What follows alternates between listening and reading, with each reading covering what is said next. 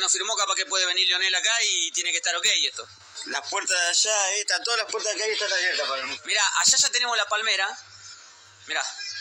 Mira, estamos casi en Miami acá, ¿o no? Y, y- El Rolls Royce. exactamente, está todo preparado como para que se sienta igual que en Miami. ¿Está para que te marque este? No. Los huesos deben ser duros, así que. Le estamos preguntando a Bruno Sepúlveda quién gana el duelo si tendría que marcarlo el Colorado Lucejo. Creería que hoy ganaría él por talento, yo era, era todo esfuerzo y actitud. Bueno, pero le hubiese puesto ahí un...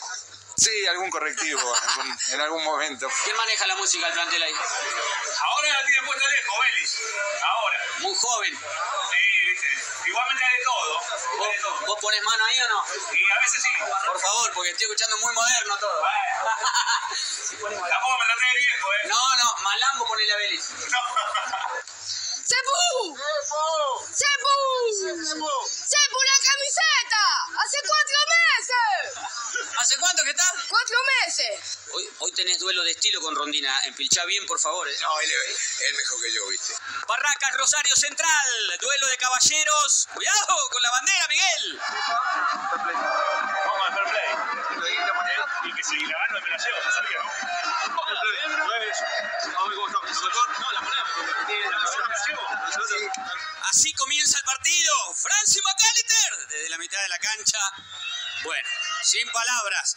Para el hermano de Alexis. Llega Barracas, no puede Tapia. Calderara. Arriba del travesaño. Y el huevo Rondina que dice, yo le hubiese pegado mejor, cruzado. Así estaba el partido. Muy reñido. Uy, qué manotazo. ¿Qué pasó en esta jugada? Se lo explica Bruno Sepúlveda a Fútbol 1. Están hinchando mucho las pelotas.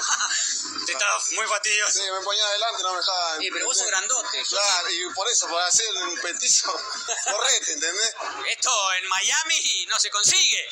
Platea preferencial. Y esta onda tampoco, Miguelo. Manos en los bolsillos para dar indicaciones. Una más para el guapo. Tapia.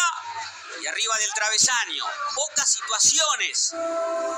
Y por eso aquí está meditando. Huevo Rondina, ¿qué mira en el piso? No tiene nada. Qué momento del DT. Estás pensando, meditando. Eso del primer ¿Qué tiempo. está haciendo? Sí, primer Sí, tiempo. estaba enojado el primer tiempo. Estaba contando hasta mil, contando hasta mil. pero- ¿Llegaste no? No, no llegué, pero después, bueno, terminó el primer tiempo y pudimos hablar con los chicos y nos, nos acomodamos. Y un pedido para Factura Brown. El partido se pone picante. Penipil con Alejo Vélez, el duelo. Y esto le dice el arquero, ¿para qué estás? Sonrisa del juez de línea. Y continúa muy picado. Codazo de Penipil, que se había quedado caliente en la jugada anterior.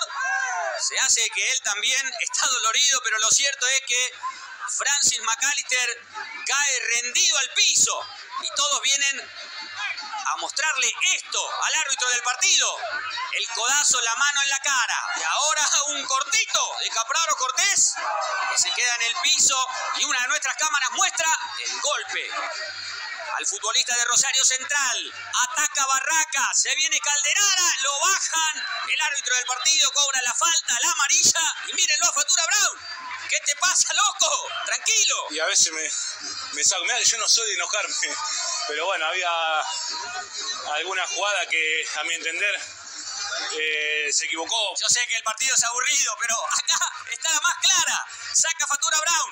El contragolpe para Ferreira. Activa el modo avión. No lo pueden parar. Dispara. Y tapa muy bien el arquero de Sábato. Final. Cero Barracas, cero Rosario Central. Pero la facha no se mancha. En la previa le pregunté a Miguel que hoy había un duelo de estilos también. Y me dijo, no, yo contra él no puedo competir. ¿Estamos de acuerdo o no? No, Miguel se empicha, Miguel. ¿eh? Miguel. Abrigate y dejalo poner música, que lo pone, dejalo, dejalo poner unos temas, aunque sea, todo- todos los temas al momento. No, pero este quiere poner los temas de cuando nació él. No, pará. Pero no está tan viejo, eh. no. Hay, que- hay que renovarse un poco, eh. Esto es todo chiqui, chiqui, chiqui, Yo te dije en la previa, ¿no? Sí, sí, viste, yo digo, algo de rock iba a poner, pero Claro. bueno. Cuatro meses te esperó. Así dice un meme, pero mentiroso. Un mes. Mentiroso. ¡Cuatro! La de Tepo vale más que la de Messi. Lo logramos. Sí, le- mirá mirá que le rompiste los huevos cuando estaba entrando sacar el partido. Gracias, Fútbol 1, y gracias por llamar a Cepu. Una facilidad la cancha de Barraca Central. Claro. No, si hay un reducto difícil es esa, esa cancha. Iba Central, mira, otro de los que estaba ahí atrás de, de River. Porcel y Gaby Pereira nos cuentan. Eh, Iba a hablar un poco del país, cómo está la economía. No sé si es de terror eso o el partido. ¿Qué quiere que hablemos? No, hablemos del país, de la economía. ¿El partido fue? Partido duro. Bravo. Creo que inmirable. Estuvo como el día, malo, viste, medio, más o menos. Paupérrimo. Ay, mamita querida, si lo dicen los protagonistas, ¿cómo será? Si arrancaba el juego, minuto cero y ¡pumba! Era un presagio de lo que iba a venir. Atención acá, 16, Mayo cabecea para atrás y a revolearla para afuera. Y Miguel, claro, Miguel dice, muchachos, hey, vamos a agarrar la pelotita, vamos a atacar un poquito, pero estaba complicada la tarde en Barracas. Y así se chocaban justamente los de Barracas Central. Salir de contra el canalla, pero no podía. Juego seguía difícil. Atención, primera jugada de riesgo del partido. 28 minutos del primer tiempo. Y Domínguez lo pierde clarito en el segundo palo. Tuviste una, tuviste ahí esa, esa chilena que quería pegarle, pero no se va arriba. Sí, me quedó un poco pasada. Creo que la repe no ayuda el argumento. No parece quedarle pasada. La agarré con la canilla, creo. Canilla fría, agua, agua fría, agua caliente. Agua fría. Muy fría la Muy fría. El partido intenta mejorar. Responde Central con el centro de Giacone y lo pierde Quintana. Atención a los trabajadores que se toman un descansito para mirar el partido. Ahí en el puente y mientras tanto... Bueno, decíamos que intentaba mejorar el partido. Acá no salió del todo bien. Mal pase de Tapia lo sufría. Rondina. Creo que el primer tiempo fue, fue feo. Te quito el primer tiempo porque fue imposible. ¿eh? El primer tiempo fue realmente algo que no se podía, ¿no? En el segundo tiempo no cambia la tendencia. El partido sigue igual de feo y la gente busca divertirse un poquito, claro. Una tarde complicada. Encima, atención, 14 del complemento y ¡bomba! Tremendo golpe de Payne y Pira McAllister. A ver los dientes. ¿Están?